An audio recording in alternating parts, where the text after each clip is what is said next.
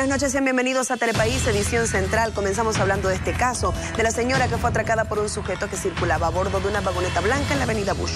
Estoy empezando a, sentir eh, o a ordenar mi, mi cabeza. 10.30 de la mañana del lunes, un vehículo de color blanco se acerca a una mujer de la tercera edad que transitaba por la calle 6 de la avenida Bush. Simulando la búsqueda de una persona, el delincuente se acerca y con violencia jala el bolso de la mujer. Él me preguntó por una persona. Yo le dije, no, no la conozco.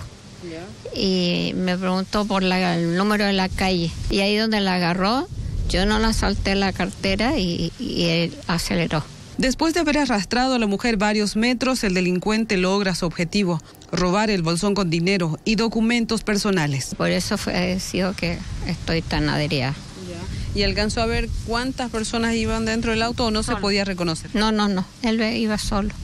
En ese rato estaba solo. No quise saber nada y me vine. ¿Y esta persona con su cartera qué se llevó?